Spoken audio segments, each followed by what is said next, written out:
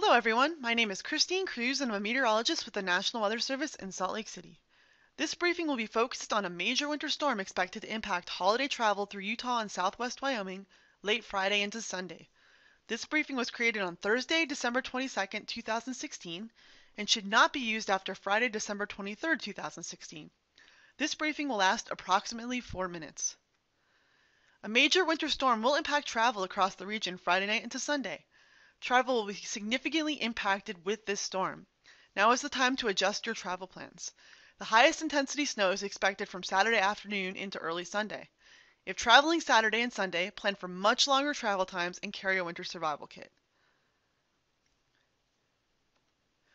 What is the timing with this storm? Beginning Friday night, snow will develop across all the mountains of Utah. Saturday morning into Saturday afternoon, rain snow mix or primarily snow will begin for valley locations. Snow will continue across the mountains during this time. Any rain and snow mix will change to all snow by early Saturday evening for valley locations, except in the St. George area. Snow will continue for much of Utah Saturday evening into early Sunday morning.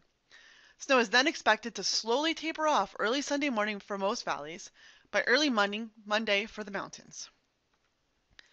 Significant travel impacts are expected with this storm.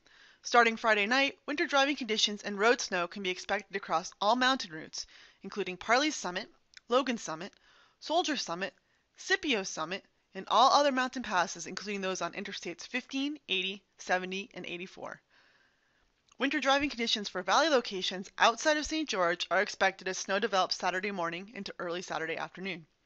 Expect worsening road conditions Saturday afternoon, continuing into Sunday for the Wasatch Front and the remainder of the I 15 corridor. Plan your travel now. Remember, the highest intensity snow is expected Saturday afternoon into early Sunday morning. How much snow can be expected with this storm? Currently, we are expecting 1 to 3 feet with locally higher amounts for all the mountains of Utah.